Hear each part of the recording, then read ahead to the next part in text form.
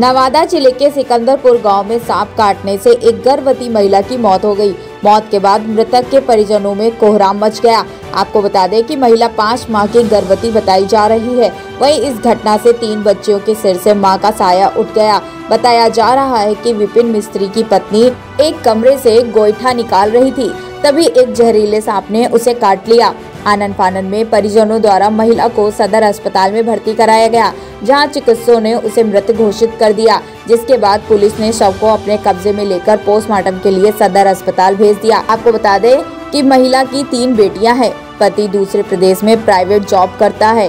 घटना के बाद नौ वर्षीय अमृता कुमारी, सात वर्षीय अनुष्का कुमारी एवं पाँच वर्षीय अनोखी कुमारी की सिर से माँ की ममता छीन गई।